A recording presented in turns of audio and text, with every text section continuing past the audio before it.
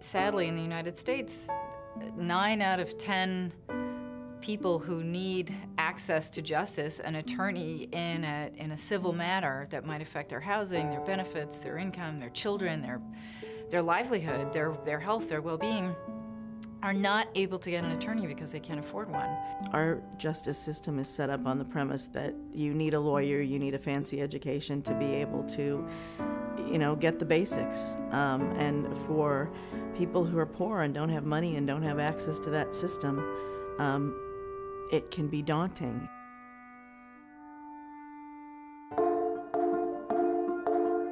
The power of Pro Bono Net is transformative. The original goal of Pro Bono Net was really to try and uh, tap into the power of technology to overcome barriers to providing legal services to poor people. We have a point of view on access to justice as an organization.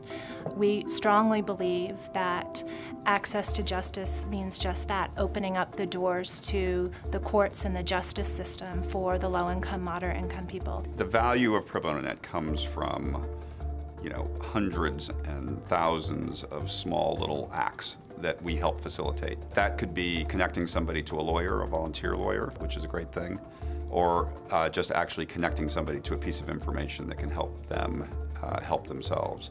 In a very tangible way, Pro Bono Net has been the group that's brought other people in the room. Legal aid groups, pro bono groups, court systems, bar associations have all come together to help build an information system that helps people address their legal needs. A key part of Pro Bono Net's mission is the collaboration.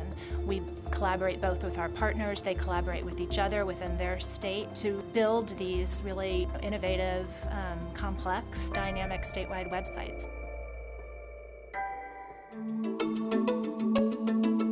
The power of Pro Bono Net is in the network. It's the hundreds of organizations, thousands of lawyers, and other legal workers who are engaged in trying to figure out how to provide better services to low-income and vulnerable communities, how to provide them with greater access to justice and greater outcomes to the struggles that they're facing in their daily lives.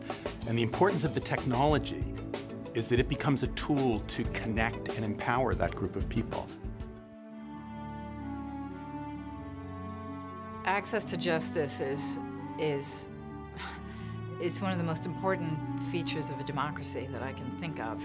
Justice is when someone can get on a website and find out that the eviction they were just served with by their landlord is unlawful, and they get to stay in their house.